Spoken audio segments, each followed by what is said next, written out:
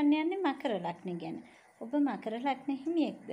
මකර ලග්නෙන් උපන් අය ගැන කොහොමද සමාජයේ කතා වෙන්නේ? ඉතුරු කරන්න නම් කියාපු අත. එහෙම කියන්නේ ඉතුරු කරන්න ඇත්තටම දන්න අය මකර ලග්නෙන් ඉපදෙනවා අනවශ්‍ය වියදම් ගොඩාක් අඩු කරලා අවශ්‍ය දෙයට බොහෝම අර පිරිමැස්මෙන් වියදම් කරන්නේ මකර ලග්න හිමියෝ. ඒ වගේම මකර ලග්න හිමියන්ගේ සුවිශේෂීම ලක්ෂණය තමයි මේ ඉතුරු කිරීම පුංචි කාලේ ඉඳලා පුරුදු කරගත්ත දෙයක්. බලන්නකෝ ඉස්කෝලේ යන දරුවන්ට කීයක් හරි දුන්නාම ඒගොල්ලෝ කියන්නේ ඒක වියදම් වුණා කියලා. හැබැයි ඉතුරු කරගෙන තියෙනවා. ඉතින් ඒගොල්ලෝ මේ ඉතුරු කිරීම පුංචි කාලේ ඉඳලා පුරුදු කරපු අය. ඒක නිසා මේගොල්ලන්ගේ දියුණුව ඉක්මන්. මොකද අනවශ්‍ය වේදම් කරන්නේ නැති නිසා දියුණු වෙන්න පුළුවන් ඉක්මනින්ම මකර ලග්න හිමියන්ට.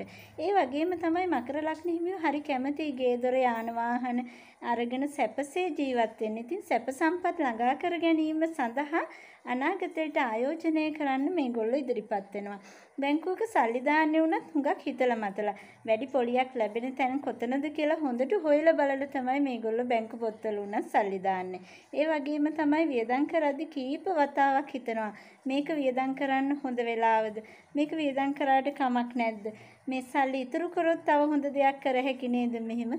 සල්ලි ගැන සල්ලි ඉතුරු කරන්න හොඳ දක්ෂෝ තමයි මකර ලග්නෙන් ඉපදෙන්නේ. හැබැයි මකර ලග්න හිමියෝ ටිකක් ලෝබයි කියලා තමයි එතකොට අනිත් අය අතර කතා වෙන්නේ.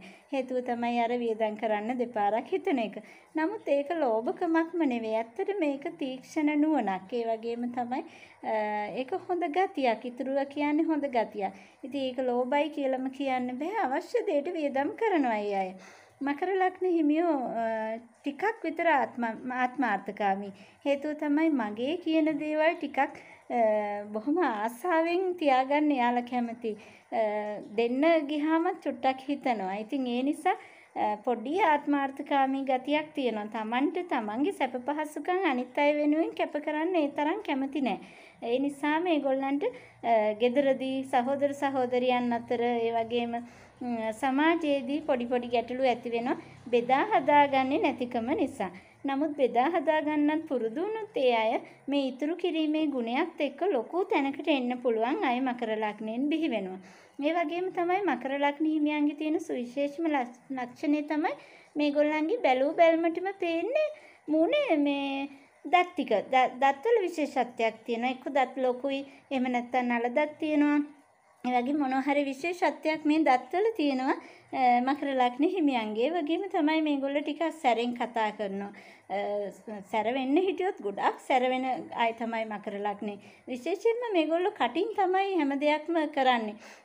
කට වචනේ පාවිච්චි කරලා යම් යම් දේවල් ග්‍රහණය කරගන්න, ඒ වගේම යම් යම් දේවල් ලබා ගන්න මේගොල්ලන්ට පුළුවන්. හොඳ වචන ශක්තියක් තියෙනවා. ඒ වචනේ හරි සැර නිසා අනිත් අය පොඩ්ඩක් මකර ලග්න හිමියන්ට බයයි. ඒ වුණාට මකර ලග්න හිමියෝ පින්නට දහමට ලැබි වුණාම ඒ පැත්තට නැඹුරු වුණාම පුදුමාකාර විදිහට ආධ්‍යාත්මික දියුණුවක් ලබා ගන්නත් පෙළඹෙනවා. මකර ලග්න හිමියන්ට එක්ක ආදර ජීවිතය සම්බන්ධයෙන් කතා කරොත් ටිකක් විතර තර්ජනාත්මක ආදර ජීවිතයක් ඒගොල්ලන්ගේ තියෙන්නේ. එයා කියන දේ කරන්න ඕනේ බෑ මගෙන් අහලා යන්න ඕනේ මං කියන දේ කරන්න ඕනේ. නැත්නම් මාත් වෙනවා.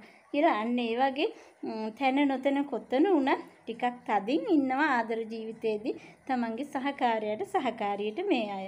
නමුත් ආදරණීය චරිතයක් ආදරේ ඕනෑමට වඩා හිතේ තියෙන නිසා තමයි අර රැක ගන්න නිතරම උත්සාහ කරන්නේ. නිතරම බලනවා කොහෙද ඉන්නේ කියලා කෝල් කරනවා. රැක ගැනීම කියන දේ ආදරේ වගේම තමන්ගේ බඩු බාහිර ආදිය සම්බන්ධෙනුත් ඒ වගේ. ගෙදර යතුරු ගත්තද?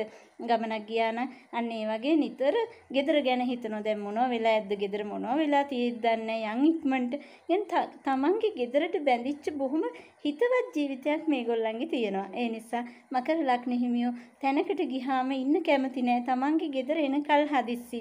ඒ තමයි අර තමන්ගේ තියෙන කුටුම්බය ඇතුළේ තියෙන දේවල් ටික බොහොම සුරක්ෂිත කර ගැනීමේ ආසාව. ඉතින් මකර ලග්න හිමියෝ නරක නැහැ. හොඳයි. පිනට දහමට ලැබී ආගමික වශයෙන් බොහොම දියුණුවක් තියෙනවා වගේම ආධ්‍යාත්මික වශයෙන් දියුණුවක් වගේම ලෞකික වශයෙන් දියුණුවක් ලබන්න පුළුවන් අය තමයි මකර ලග්නයෙන් ඉපදෙන්නේ. ඉතින් ඔබ මකර ලග්නේ නම් බලන්න මේ තොරතුරු හරිනම් මට කමෙන්ට් එකක් තියන්න අමතක කරන්න එපා. ඉතින් අදත් ගිහිල්ලා එන්නම්. හෙට යලිත් කතා කරනවා කුම්භ ලග්නේ ගැන. ඔබ කුම්භ ලග්නේ නම් බලන් ඉන්න මීට වඩා හාත්පසින් වෙනස් තොරතුරක් ඔබට හෙට දැනගන්න පුළුවන් වෙයි. ඉතින් ගිහිල්ලා එන්නම්. ස්තුතියි මේ ස්මාර්ට් ලයිෆ් TV. සබ්ස්ක්‍රයිබ් කරන්න අමතක කරන්න